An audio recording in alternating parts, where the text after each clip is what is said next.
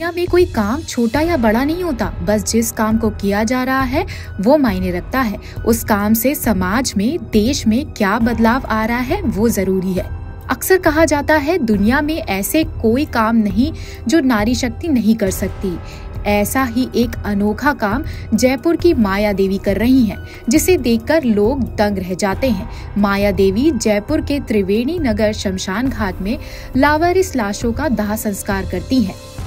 अपने इस काम को लेकर माया देवी कहती हैं कि मैं कोई गलत काम नहीं कर रही हूँ। जो कर रही हूँ, वह समाज सेवा है। माया देवी जब छह साल की थी, तब उनके पिताजी का देहांत हो गया था। उनके पिताजी से ही उन्हें यह काम विरासत में मिला। माया देवी बताती है कि उनके पिता के देहांत के बाद उनकी माता ने लाशों के दह संस्कार का काम शुरू किया। माँ के साथ ही वह काम पर लग गई। माया देवी का कहना है कि इस काम से उन्हें किसी प्रकार का डर नहीं लगता। वह अपने बच्चों के साथ शमशान घाट में ही रहती हैं और निश्चित होकर लोगों के दाह संस्कार करती है और अपने परिवार को भी पालती हैं। कब से कर रही हैं आप ये लावारिस लाशों का दाह संस्कार? मेरी मम्मी करती थी पहली से।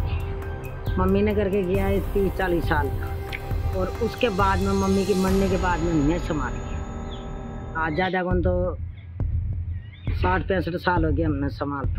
कितनी लाशों का दाह संस्कार किया होगा अब तक आपने लगभग? आप पता ही आता पता ही नहीं है कितनी हो गई है। अभी इनका तो मालूम नहीं है वो इसी काम से अपने घर का गुजारा चलता है? साफ़ चलता ही है। नहीं चलता है तो मैं ले आती हूँ साफ़ के देती हूँ नहीं है मिलने के खाने के लिए गोपालपुरा गाँव में जाके के देती हूँ रामजाल खाती को जंदीलाल भैया को। इधर कुछ तरवनी नगर में जाके के देती हूँ अब तरवनी नगर भी हो गई।